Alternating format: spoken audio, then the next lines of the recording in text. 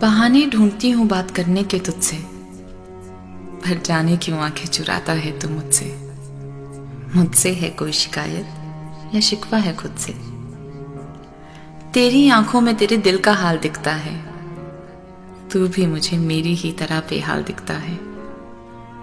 तू वो चाँद है जिसको मैं पाना नहीं चाहती। पर तुझे देखने का एक भी मौका गवाना नहीं चाहती।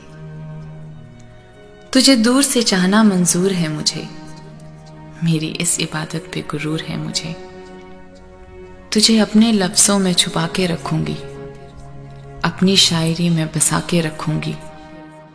चाँद सा है तू, तेरी चांदनी नहीं, मैं खुद को जमी बना के रखूँगी।